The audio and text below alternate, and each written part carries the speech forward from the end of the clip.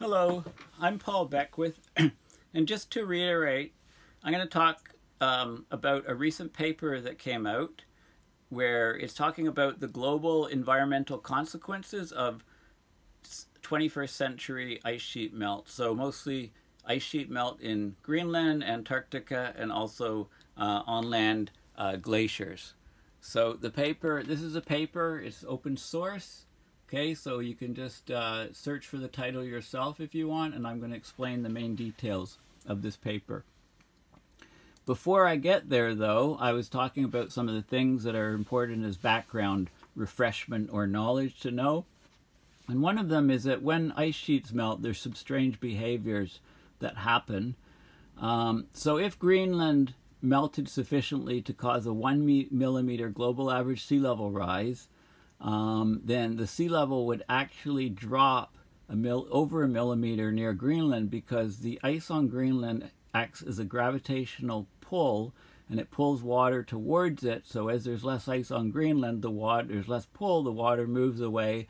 That lowers the sea level in this location. Sea level would rise uh, more than a millimeter on the opposite side of the planet, in the mid-Pacific in this case.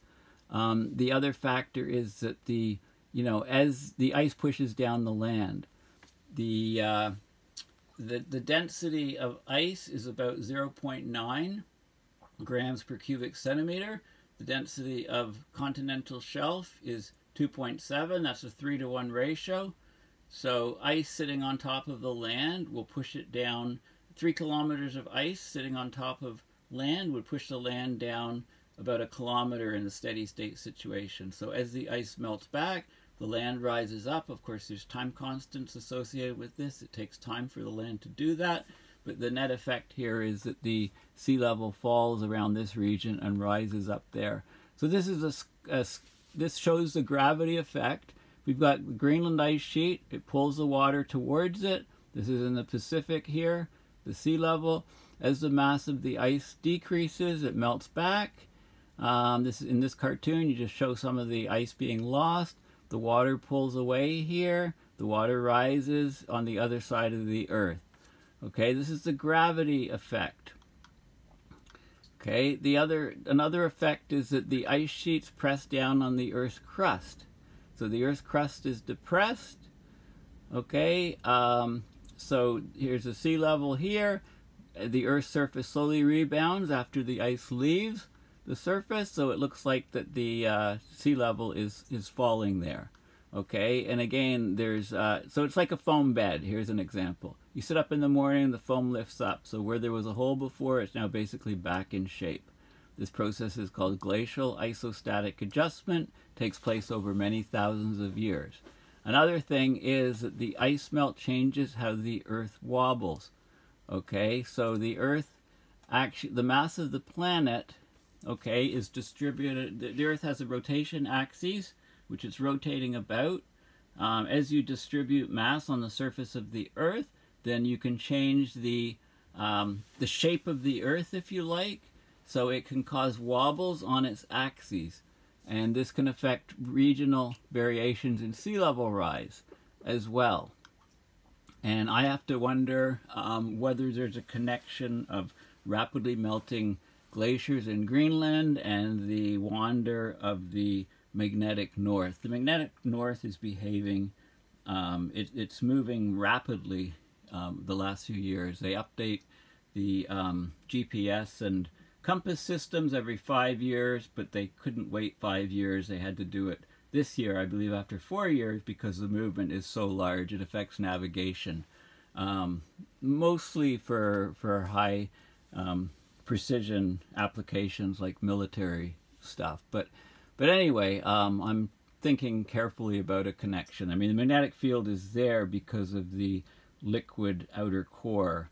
You know, the iron and and ions that are moving. You can move, cause a current, causes a magnetic field. That's why you know if a planet has a magnetic field, it means there's a molten or liquid uh, core somewhere or not core, but could be the mantle. Anyway, there's moving liquids, moving charges, creates a magnetic field. If the body is completely solid, there won't be a magnetic field. Okay, so um, and uh, this site here, antarcticglaciers.org, you can look at post-glacial rebound and get more details. So here's peak glaciation, the ice sheet's there, it pushes the land away, so the land is depressed there. It can bulge up here at the edges, okay? Um, and during deglaciation, the weight, the ice is melting back, the weight is relieved, this land will move up, and around the edges it will move down, the opposite effect. Okay, so there's an image here which shows what's going on. This is an exaggerated view of, of the geoid. This is showing how the rebound, when the ice is there, it's pushing down the land. When the ice is, there's less and less ice, it melts, the land moves up, isostatic rebound, and the ocean is not pulled towards it as much, so it also drops here. So it, it looks like the sea level is decreasing in that region. So um, this is a paper where there's a good diagram in. This is Glenn Milne. He's at uh, um, he, he's an Ottawa guy. Um, he looks at sea level rise. And this is the image. I, I couldn't get into the paper on this computer. Couldn't open the PDF. They wanted 31 bucks. So anyway, this is the this is the rate of change of isostatic rebound. So what you can see is because the ice was covering this region uh, the, during the last ice age and the ice is gone, this land is still rising up, you know, at very fast rates here. Also, so the red regions are where the land is actually rising up. The rate of rise, and again, I'm not sure the units here. Is it millimeters per year, or uh, I'm not sure. Um, and uh, again, the ice. There was more ice on Antarctica. Um, there's less now, so the land is rising up in those regions. Look how now the biggest decline of the of uh, the biggest drop here is around these regions here okay? Because this is uh, again showing you this is because of this bulge effect right which is right here. So so the land rose up here um, as the ice was forming it was depressed here rose up here. Now the ice is left so the land is rising here and dropping on the outskirts. So this is exactly what we're seeing here the drop on the outskirts and also here Okay, so this is the isostatic rebound effect. So let's go back into the paper. Um, so I've talked about some preliminary things here. So basically, existing government policies commit us to surface warming 3 to 4 degrees Celsius above pre-industrial levels by 2100, according to this paper. This will lead to enhanced ice, meet, ice sheet melt, etc. And that ice sheet discharge, the meltwater coming off the ice is not modeled in uh, CMIP 5, Coupled Model Intercomparison Project Phase 5. So effects on climate from this melt are not captured. So here they do simulations and they look at the how the increasing meltwater from Greenland will substantially slow the AMOC. Meltwater from Antarctica will trap warm water below the sea surface. So it, meltwater from Antarctica will create a, a lens of fresh water at the surface. That'll trap the warmer salty water below, causing a positive feedback to increase Antarctic ice loss. That warm salty water gets under the glaciers like it did in Thwaites and uh, bored through a cavity in the space of a few years, a massive cavity in that glacier. Um, now, in terms of the absolute numbers of sea level rise, I'm not going to talk too much about them from this paper. I think they're way underestimating what is going on.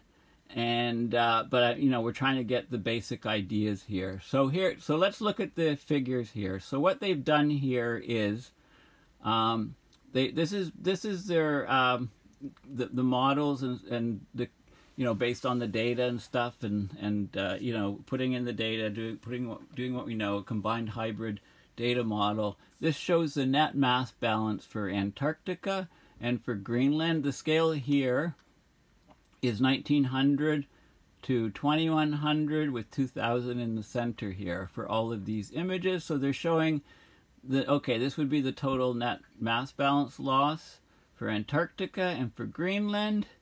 And then you get, this is the surface mass balance.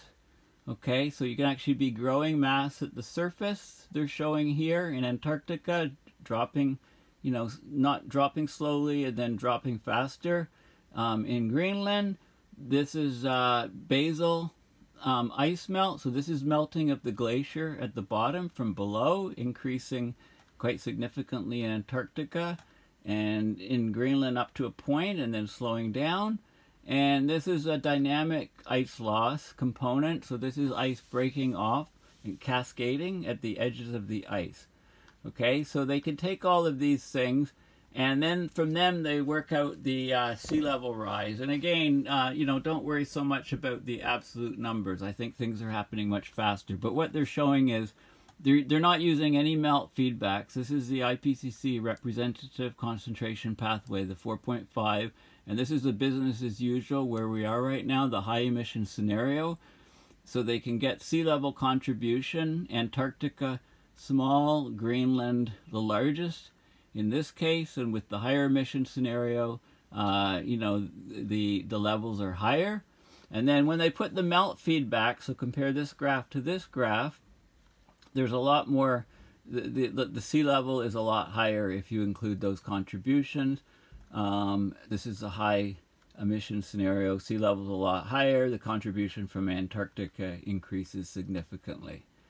Okay, that's what they're showing. They they break it down and they look at Antarctica and they look at Greenland and they have the different components. So you have the surface mass balance loss here. So it's significant on Greenland. We know that the surface gets above zero and there's melt ponds on Greenland and the reflectivity drops. Um, notice on, on in Antarctica, there's very little surface melt because the surface temperatures are much lower than zero the basal mass balance, this is the mass balance at the um, where the ice is meeting the bedrock, and in a lot of cases that's well below sea level, especially in West Antarctic, some some in East Antarctic, and some parts of Greenland, but not so much. So this is the the basal mass balance is the mo is the biggest component here. So for example, here it's it's uh, almost the full component here. Here it is, and there's actually a reduction of the dynamic mass balance. So so if you add all the, so this is the net here. This is the net.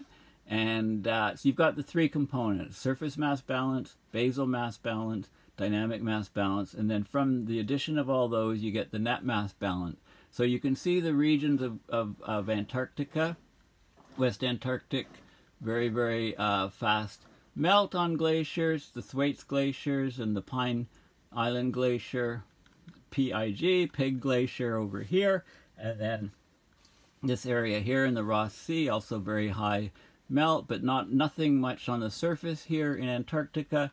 And in Greenland, uh, these are the regions where there's quite high um, mass loss. Okay, so the distribution, so this is sort of the distribution. This shows you the weak points, the Achilles heel of the of Antarctica and Greenland in terms of causing significant ice melt. Um, and again, the actual absolute numbers could be argued. There'll be deviations from this, but this gives you a good idea. Um, now, these are some of the effects that happen. So, um, if you account for that freshwater melt from Greenland and Antarctica, this is the air temperature. This is these are 2100 um, model patterns at 2100 of changes in the parameters. So, air temperature. There'd be significant melt of Antarctica and that effect would would cause a reduction of air temperature. Notice there's lots of other effects, of course, but this is only modeling the effect just due to the ice melt. This is the effect of the ice melt on these particular region. So air temperature, um, sea surface temperature be cold would be colder south of Greenland, near Antarctica because of the ice melt. This is the uh, subsurface ocean temperature. The ocean temperature is at about 415 meters. And what you see here is the freshwater lens of, from Antarctica means that the water down below, there's less strat there's more stratification, less mixing. So the water at depth, this is about 415 meters below, is actually increased in temperature. And this water can undercut the ice and also increased here. And this, this is the temperature um, this is a change in sea level, and what you see is, you know, you, see the, the minimum of, of change is right near Antarctica and right near Greenland for the reasons I've discussed already. And this is some other stuff on variability.